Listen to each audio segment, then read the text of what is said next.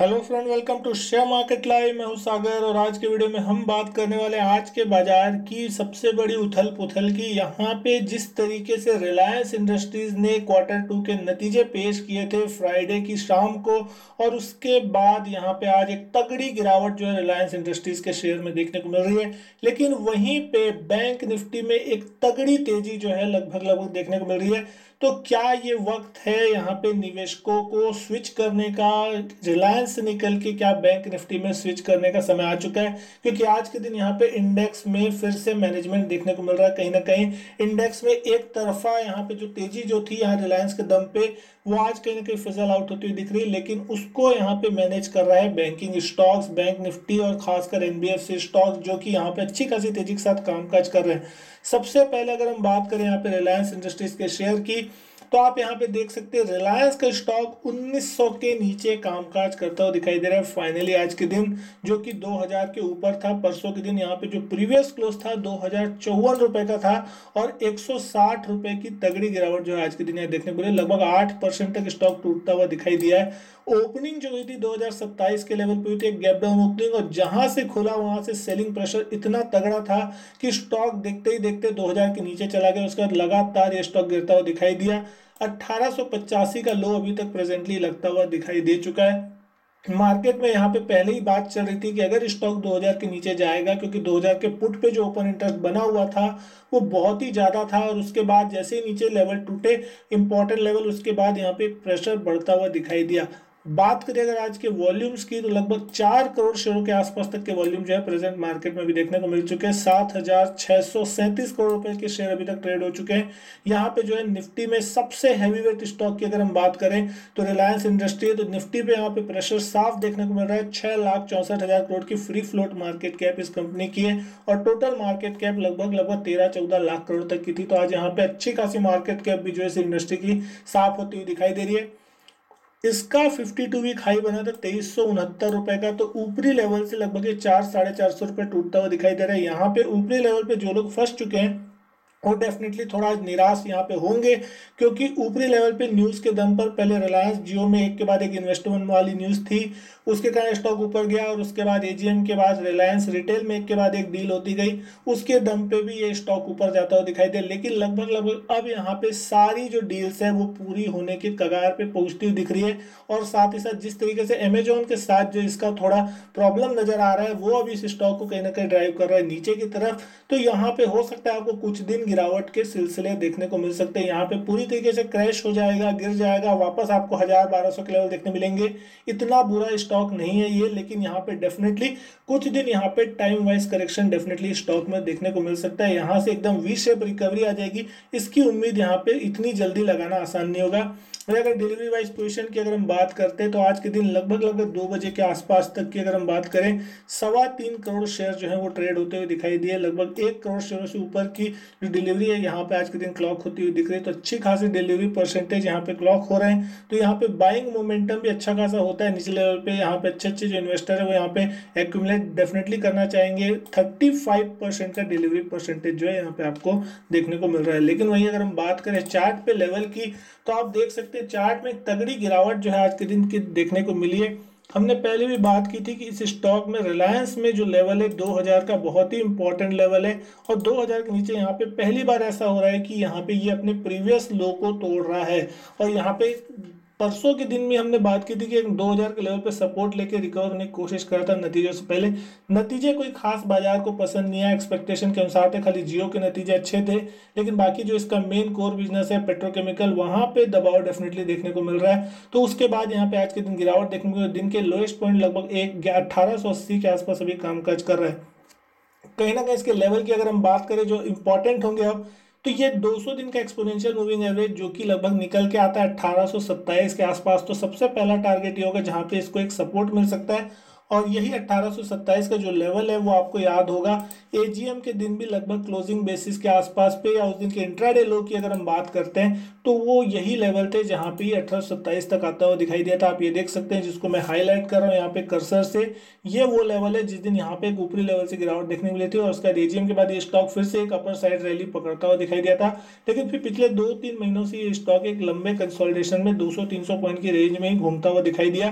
तो फाइनली यहाँ पे आज के दिन ब्रेकडाउन आता हुआ दिख रहा है। वो भी अच्छे हैवी वॉल्यूम्स के साथ। तो डेफिनेटली यहाँ पे अब जो ये 2000 का लेवल है, वो रेजिस्टेंस के रूप में काम करेगा। तो जब कभी भी ये 2000 का रेजिस्टेंस से बाहर निकलेगा, तब उम्मीद होगी कि आप ऊपर की तरफ़ के मुँह देख सकते हैं। तो यहाँ पे अगर जिस किसी भी की शॉर्ट पोजिशन है उसके लिए 2000 का स्टॉप लॉस होगा और वो ऊपर की तरफ़ यहाँ पे नीचे की जो रैली है, उसको यहाँ पे वो राइड कर सकता है। लेकिन ऊपर की तरफ़ अगर हम बात करें तो जो रियल तेज़ी वो 2000 के ऊपर क्लोजिंग बेसिस पे होने के बाद ही आती हुई दिखाई देगी और मोटा मोटा कहा जाए तो परसों का दो हज़ार चौवन का जो क्लोजिंग बेसिस पे लेवल है, वो स्विंग हाई है अब यहाँ पे।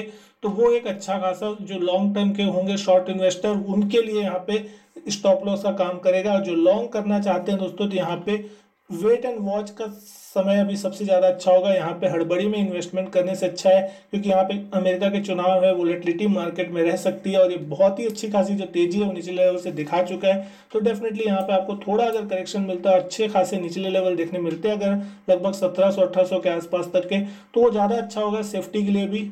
लेकिन अगर बात करें यहाँ पे बैंक निफ्टी की तो दोस्तों यहाँ पे बैंक निफ्टी में एक अच्छा खासा उछाल आज के दिन देखने को मिला है। जैसा रिलायंस चल रहा है, बिल्कुल उसके अपोजिट बैंक निफ्टी ने आज यहाँ पे चाल दी और बहुत से लोग यहाँ पे आज के दिन ट्रैप होते हुए दिखाई दिए, जिन्होंने ऊपर के लेवल पे कॉल शॉर्ट किए थे, जिसको बिल्कुल उम्मीद नहीं थी। सबको यहाँ पे लग रहा था कि बैंक निफ्टी में गिरावट का ट्रेंड देखने को मिल सकता है। यहाँ कहीं ना कहीं बैंक निफ्टी फिर से एक बार नीचे का मूव दिखा सकता है। लेकिन आज के दिन बैंक निफ्टी ने जो दिखाया आईसीआईसीआई बैंक के जो नतीजे थे, उसने यहाँ पे फ्यूल करने का काम किया बैंक निफ्टी को आईसीआईसी बैंक के नतीजे जो आते हुए दिखाई दे सैटरडे की शाम को मार्केट को पसंद आया और आईसीआईसी बैंक में लगभग यहाँ पे अच्छी खासी जो तेज़ी थी, वो यहाँ पे बनती हुई दिखाई दी। लगभग आईसीआईसी बैंक की अगर हम प्रेजेंटली बात करें तो चार सौ के आसपास कामकाज करता हुआ दिख रहा है, छह परसेंट ऊपर है स्टॉक और बैंक निफ्टी भी आज के दिन लगभग लगभग चौबीस के लेवल पे प्रेजेंटली काम कर रहा है। पच्चीस हज़ार के इंटरडे लेवल यहाँ पे बैंक निफ्टी ने पार किए थे। प्रॉफिट बुकिंग कारण यहाँ पे थोड़ी सी गिरावट डेफिनेटली देखने को मिल रही लेकिन बैंक निफ्टी में पच्चीस के लेवल पार होने के बाद दोस्तों बहुत ही ज़बरदस्त शॉर्ट कवरिंग की जो संभावना है, वो बनती हुई दिखाई दिखाई दे रही है। यहाँ पे जिस तरीके से 200 दिन के एवरेज को दूसरी बार ये पार करने की कोशिश कर रहा है, इस बार सारे मूविंग एवरेजेस जो है, वो 200 दिन के एवरेजेस को पार करने की कोशिश कर इससे पहले इकतीस अगस्त के आसपास आप देख सकते हैं कि 200 दिन की लाइन को यहाँ पे कैंडल बेसिस पे तो यहाँ पे बैंक निफ्टी ने पार किया था, लेकिन कोई भी मूविंग एवरेजेस की जो लाइन थी, चाहे वो पाँच, चाहे वो बीस, चाहे वो पचास दिन की हो, उसने एक बार भी इस मूविंग एवरेज को टच नहीं किया। तो उसके बाद एक प्रॉफिट बुकिंग देखने मिली थी, लेकिन जब रिकवरी चालू हुई यहाँ पे तो पाँच दिन की एवरेज और बीस दिन की एवरेज ने यहाँ पे जो है एक्सपोनेंशियल मूविंग एवरेज ने वो 200 डीएमए को पार किया है डेली चार्ट पे। पचास दिन की एवरेज अगर इसको पार करती तो यहाँ पे जो मोमेंटम है बहुत ज़बरदस्त होगा। और जो प्रीवियस हाई था लगभग पच्चीस हज़ार दो सौ के आसपास का, ये इंपॉर्टेंट लेवल है। ये सारे उन लोगों के लिए स्टॉप लॉस है जो यहाँ पे बैंक निफ्टी में शॉर्ट बैठे हुए हैं। अगर ये लेवल पार होगा तो उसके बाद बहुत ही ज़ोर से यहाँ पे जो बैंक निफ्टी में शॉर्ट कवरिंग है वो देखने को मिल सकती है।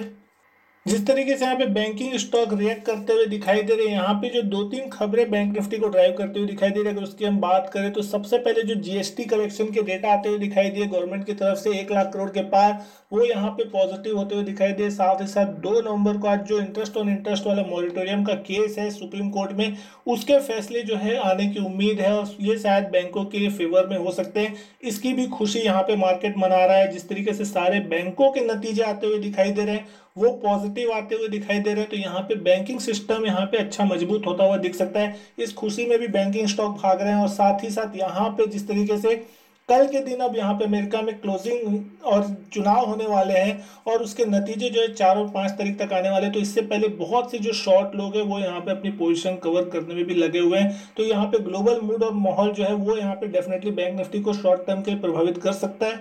यहाँ पे दोनों ही साइड के लोगों के लिए रिस्क जो है, वो बहुत बड़ी होगी।